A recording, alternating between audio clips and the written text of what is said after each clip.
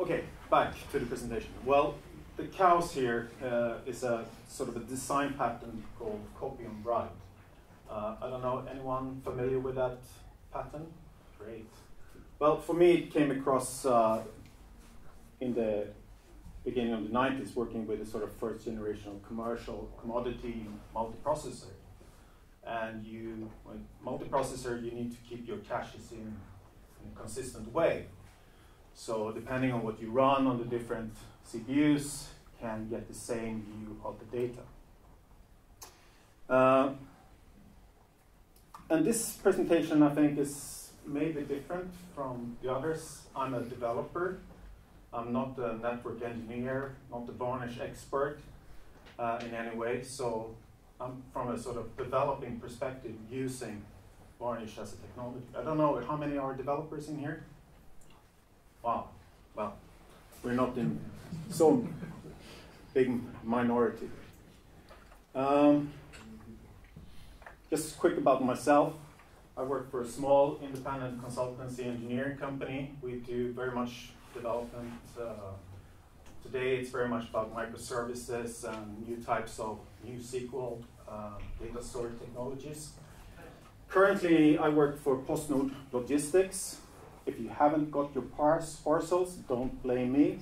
It's always the driver's fault. So, and logistic is just the logistic part. Everything that has to do with uh, the postal part of the business is a different division. Uh, PostNord is in all the Nordic countries except Iceland, I think. Uh, but in, and in Sweden and in Denmark, the PostNord is also responsible for the postal part uh, of the business. A very declining business. Um, you're losing a lot of money there. So, in the group I work for in PostNord, we are a very new group. We work predominantly with services that provide uh, new type of services for customers. And customers in our uh, context is both customers who's sending parcels, like Zalando, Dustin, that kind of e-commerce companies. They are the paying customers. The other customers are the recipients, you and me receiving our parcels. We regard they also as customers, but have a different aspect and a different need for services. Just to give you a little bit about the background in PostNord, how it's sort of looks from an IT perspective, very, very simplified. Typically, PostNord is an old country. Uh, one of the that's one of the sort of key thing to make. That's probably one of the Nordic most oldest companies doing postal service for I don't know four three hundred years or something like that. So old can be good, but you know how old companies are sometimes. The focus is very much from an IT perspective on the production system. Production systems are sorting parcels, managing conveyor belts, uh, knowing where trucks should go, etc. That is what the core business has been about all the time. And in that type of environment, it's very predictive, the load of the systems. It's more or less a function of the number of parcels that is managed every day. Uh, it's a very sort of the culture in that part of the IT is sort of traditionally enterprise software. And you know when it says enterprise software, don't, I'm sorry to say it, you also call Varnish enterprise software. But one, typically, enterprise software is complicated and expensive. Uh, but there are exceptions, of course. uh, so the technology used in, in the traditional part is Oracle, TIBCO, Java Enterprise Edition, frameworks, etc., with a very low change rate. So this is very much managed infrastructure by some sort of provider for PostNord. When we started, we started mainly, as I said, focusing on new services that are um,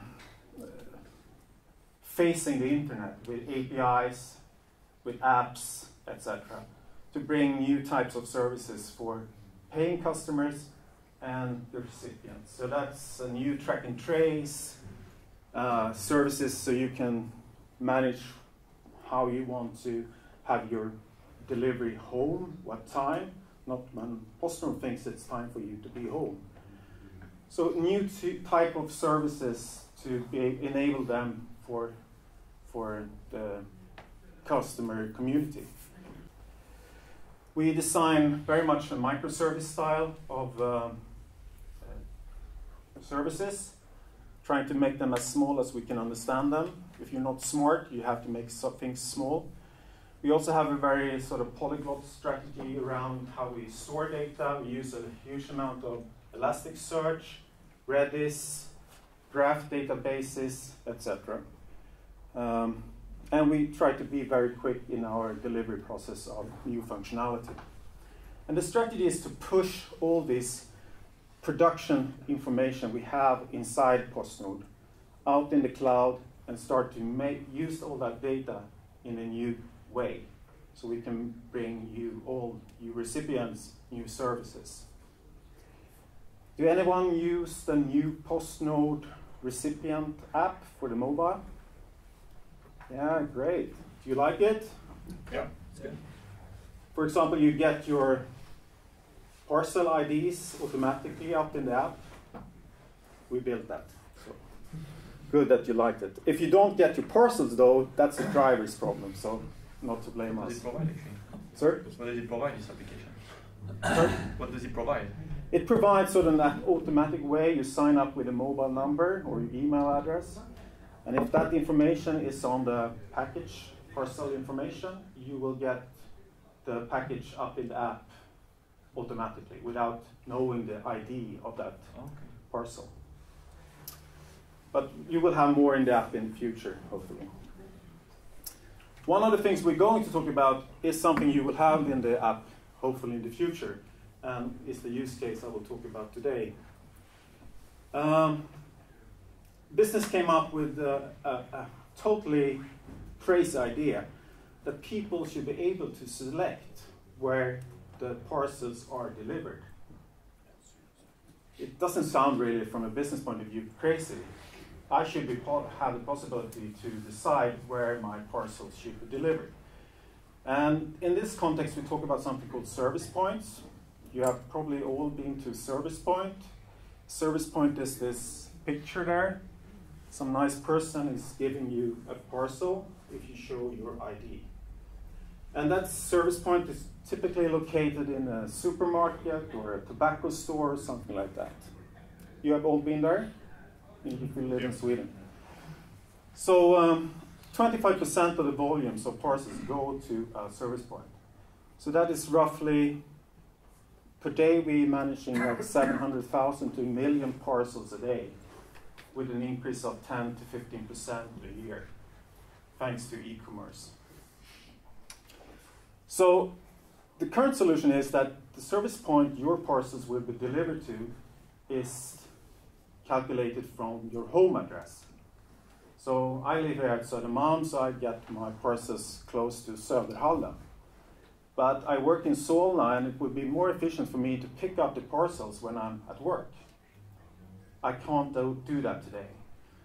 So that was the whole thing. I, the whole the sort of um, uh, service to provide that you, with your mobile identity, uh, email or mobile phone number, could say, for this mobile phone or email, I want to have my parcels to this specific location, a favorite service point. So the solution we came up with, as I said before, the old systems we have in the production environment, they are legacy. No one wants to change them very much. We cannot deploy stuff in there um, the way we probably would like to do. So we decided to, if we could very early on in the process, before we more or less receive the parcels from the sending customer, could change the information in the in the files we get from the sending customer called the EDI files. They look like something on the right there. I will not try to explain the format, I don't know it but it's really old with some sort of fixed length separating technology. But what we have in this information from a sending customer, like Zalando, for example, is we have the recipient's address. We also have some sort of contact information about the recipient that the recipient has given the sending customer, my email address or my phone number that could be used for notification of when my package, uh, my parcels are delivered. So we said if we could, in that early stage, during when we are validating the EDIs, we could go in here and check if for that specific contact information there exists a favorite service point. Then we should take that service point and change the basic information in that EDI file before we start going to the whole parcel processing of sorting, putting it on trucks, etc. So uh, we try to do things fast, so we started directly with developing something, of course. so we built a small microservice that have some uh, really simple stuff. You have some basic APIs. You can put in a service point for my email or my mobile number or both. Uh, that put would register that service point, and we store it in Redis because it's just a key value thing, or a key, we put it in some data structures in Redis, so it's super quick. And you could also delete it, of course. You could go call the delete and delete your service point. One thing to remember here is that if you think about it, we have like 250,000 packages or parcels that we manage this way should be managed this way. And let's say that maybe 5 to 10% of the population are selecting a favorite service point. So let's say 10% is selecting favorite service point. 90% of those calls will be no, there is no favorite service point, so it's not found. An important thing to remember here.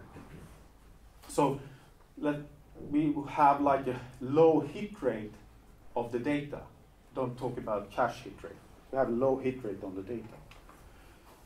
The thing was that we, when we started to deploy this, uh, we had like the, the microservice had a response time of two milliseconds roughly, if you measure on the edge of that microservice.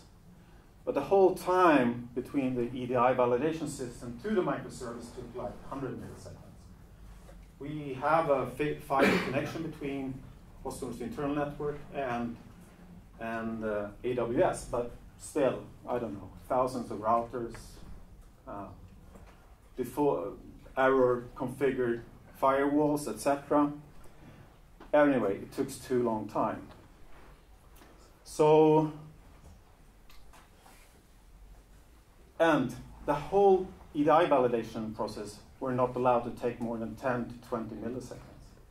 So we couldn't use this sort of setup. What we could have done was to make a replica of the microservice and put it in, in the internal network very close to, to the EDI validation system. But from a political point of view, how we work, that was uh, impossible we were, we were never going to be allowed to deploy our stuff inside that network.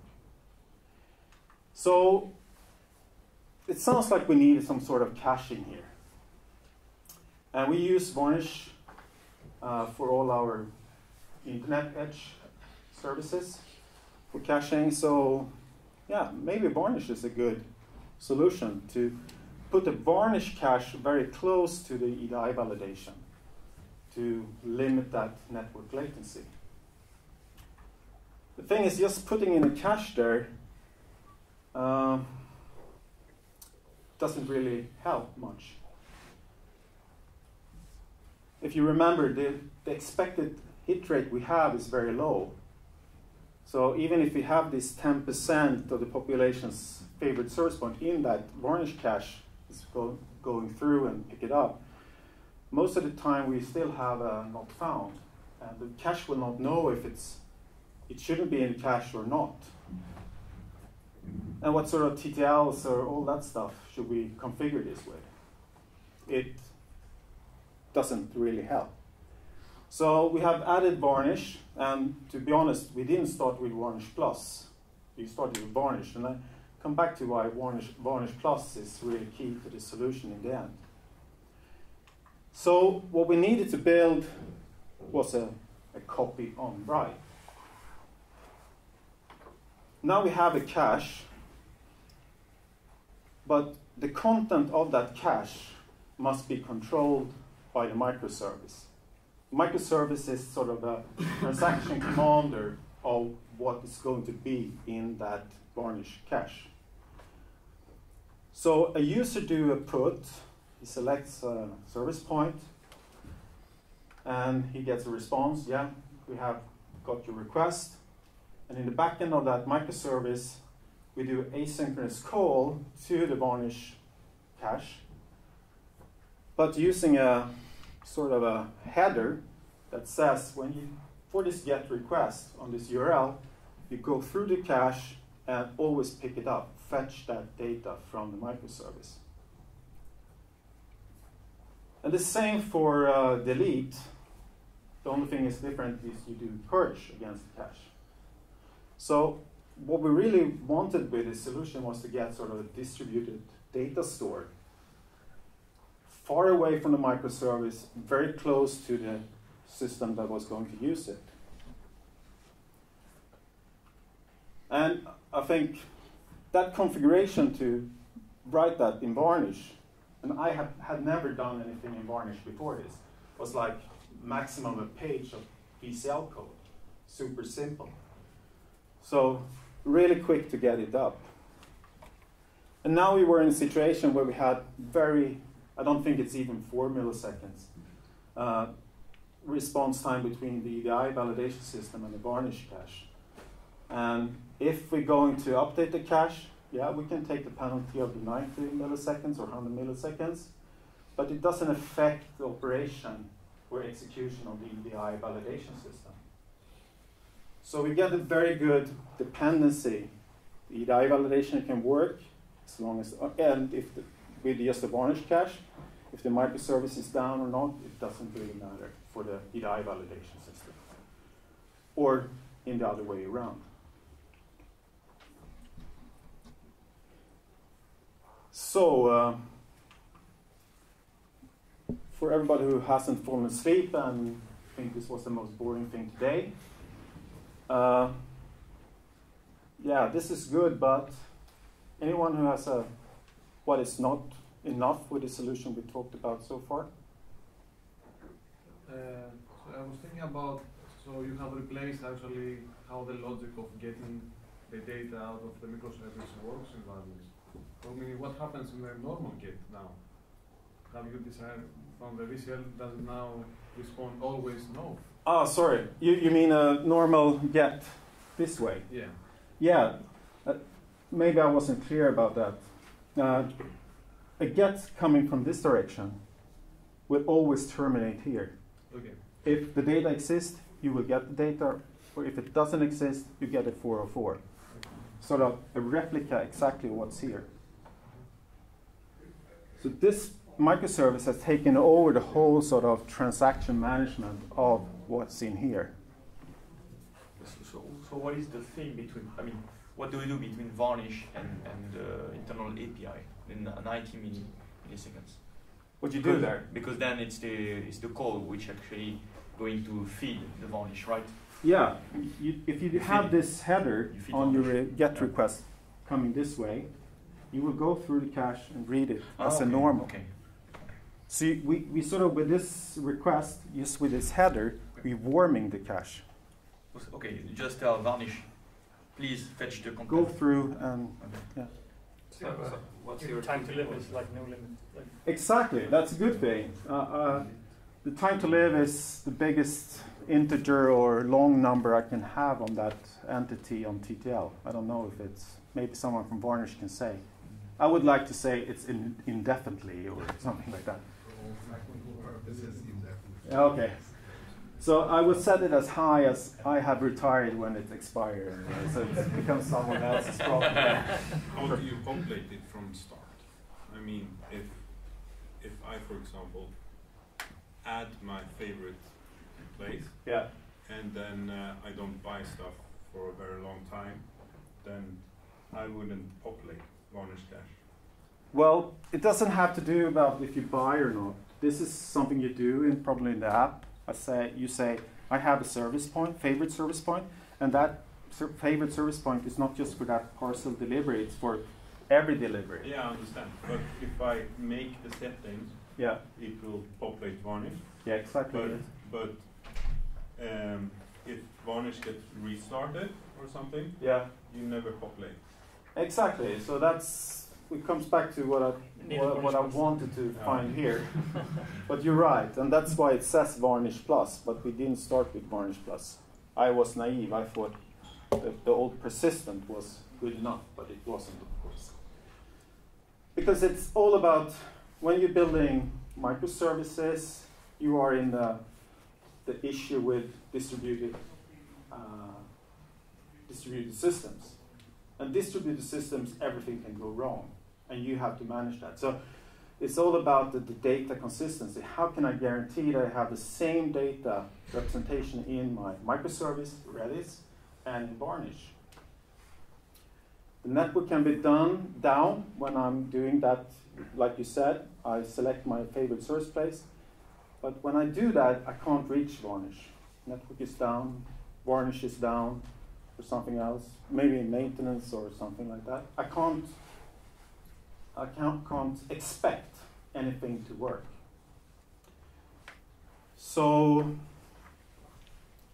you have to take measures. You have to start to think about transaction. And these transactions are not the two-phase transaction that you get when you're buying Oracle or stuff like that. But you have to manage your transactions. So the first thing was that we wanted, we needed Varnish to be persistent between restarts. So we don't need really massive storage, but we need guaranteed storage. Um, our data are small JSON objects. That's the only thing. There is no video feeds or anything like that. Just small things. And it will never be massive, but it has to be persistent. The other thing was that we need to, from the microservice, we need to manage the transaction log. If we are trying to do a call to Varnish and we get, we can't connect to Varnish by some reason, we have to save that state, save that transaction and retry again. That's the only thing you can do if you're not sort of in a, um, have your two-phase commits or whatever. And we don't really want to tell the user, the client, to do that call. Well, sorry, Varnish is down for the moment. Do this again later. We, we just tell the client, we accepted your change, and we will guarantee to be eventually consistent between the microservice and your Varnish instance. So we have to have the measures of knowing what sort of calls we tried to do to Varnish that didn't get through, and retry them by some logic of exponential timeout or whatever we do. But you have to guarantee that they are eventually consistent. Never forget them.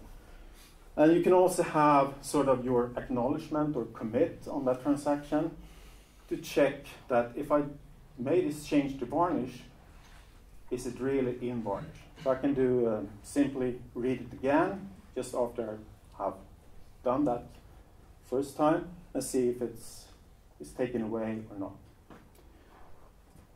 And we also have some operations that you can say, okay, I don't expect anything in Varnish, I just repopulate the whole cache. And of course, depending on the latency we have talked about, it can take a fairly long time, but you will eventually be consistent.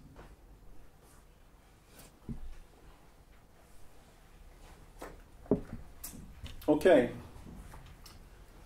So with this solution, we got some, what I think, some nice benefits. We get a pretty robust solution. Things are not really depending on each other as long as this microservice takes the responsibility of being in the transaction commander of, of the solution.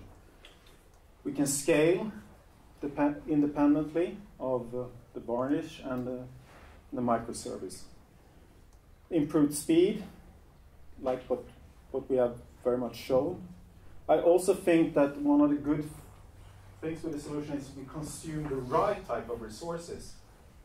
Instead of going from that EDI validation system to the microservice every time, and in 95% get a not found, but spending CPU resources there, we go to Varnish instead that is optimized for this, and we can more or less do as many requests as we want.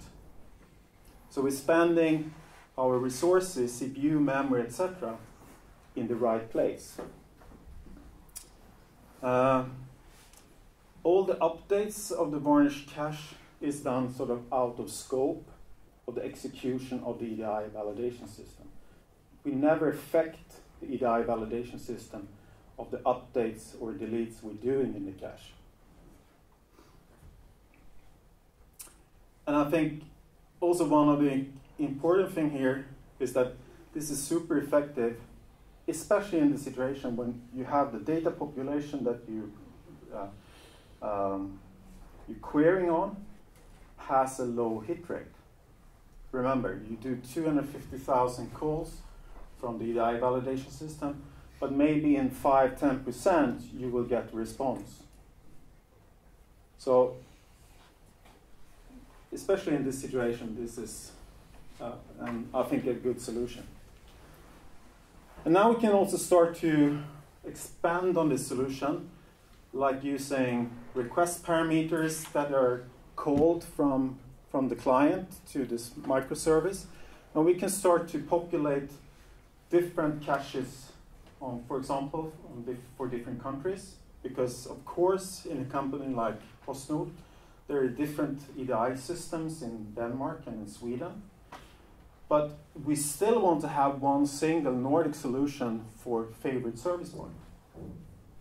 That will not be different for us as a recipient. But now we can start to decide, depending on where the service point is located in the world, push it to different caches. So if you're working, you live in Malmö but work in Copenhagen, you could pick it up in Copenhagen instead. Yeah. Well, not yet. in theory.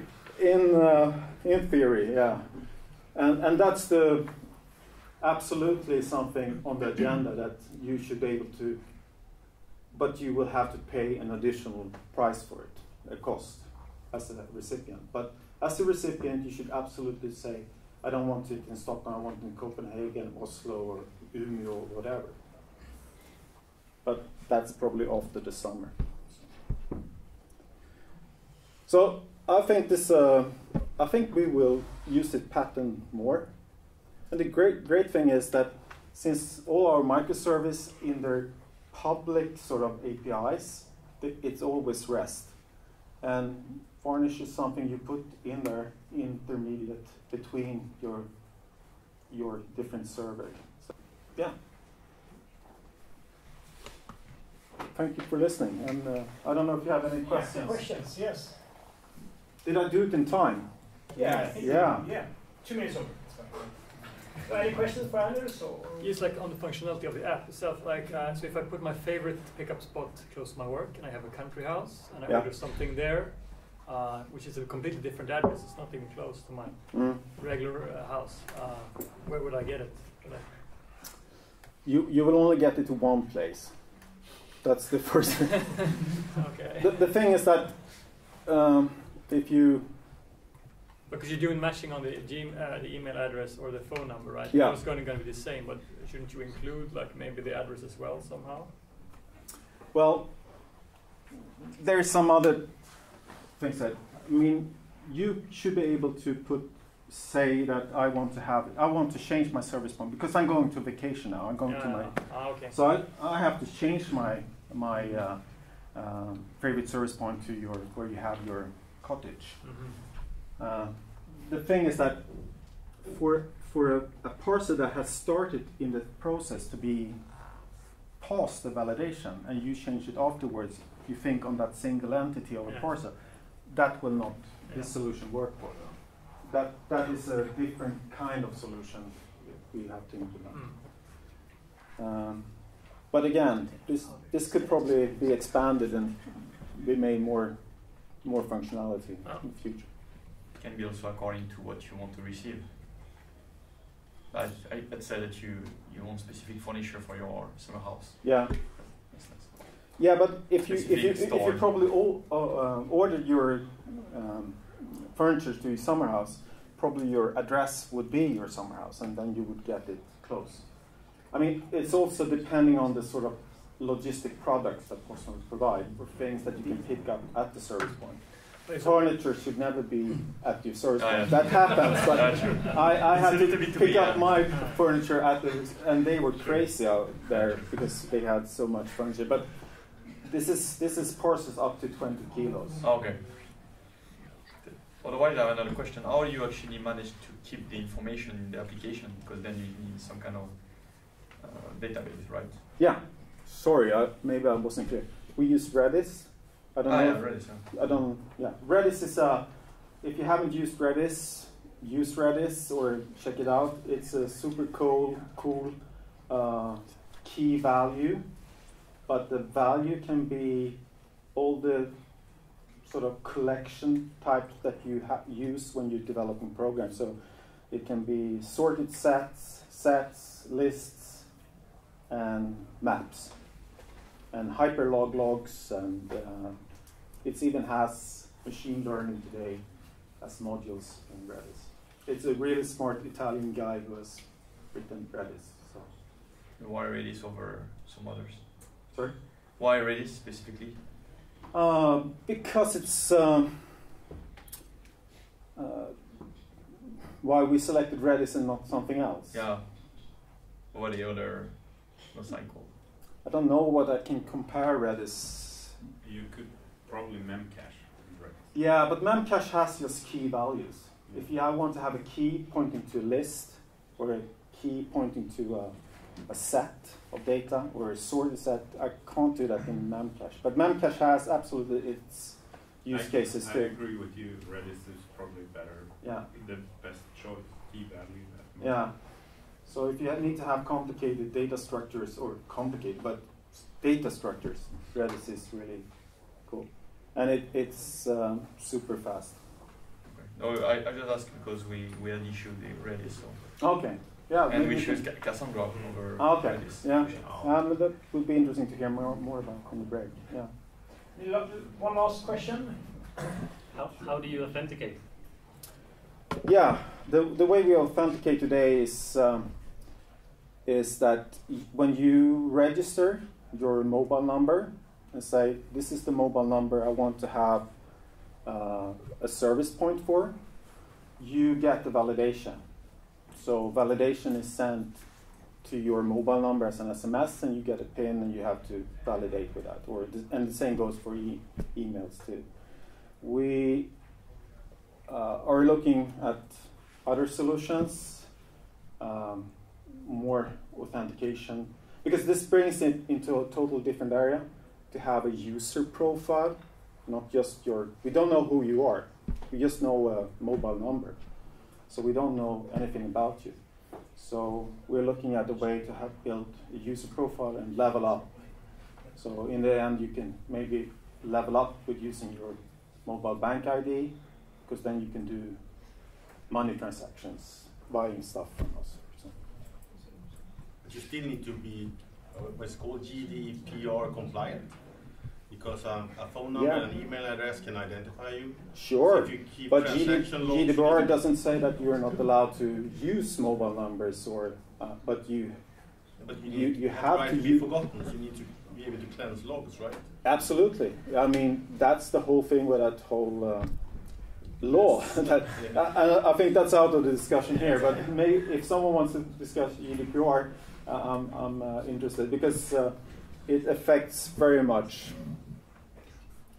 As a as a DevOps guy, don't deploy anything after 2018 because you can be responsible for a fee uh, fine. I mean, it's personal responsibility after that law. Yeah, that will affect. Thanks very much, Anders. Yeah, no yes, problem. thank you very much. Thank you for-